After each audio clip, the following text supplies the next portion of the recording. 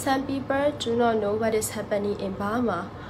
Oh, our our Burma, Myanmar is uh, facing a serious problem right now.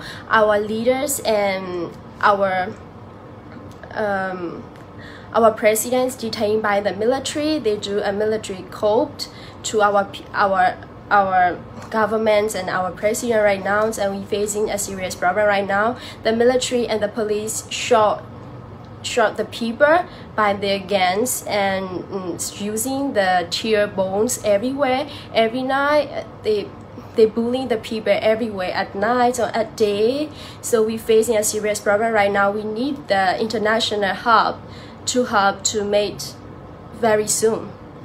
So I hope that you guys please support Myanmar and please save Myanmar. We need we need our help. We need your help now.